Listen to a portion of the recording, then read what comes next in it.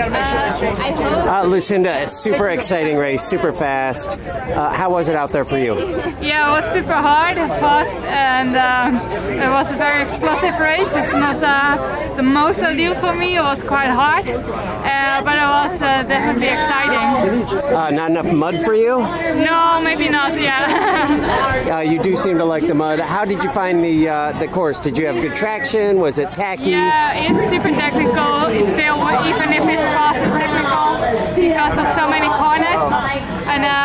yeah, fast. Uh, tell me about the ultimate corner down there by Trek Factory Hill. Do you need a hug after that? Yeah, um, of course we both wanted to be first in, so it was a great fight. I think Marianne's very explosive, so she can come very, very late. But I could react on it, and I was just like, I'm not gonna out of my way here. I'm not gonna break first. And um, but yeah, you see how how how good she is, and she stays calm, and then just take her next opportunity to get out of it. So yeah, she's just an amazing rider. She does have a couple of years experience on you.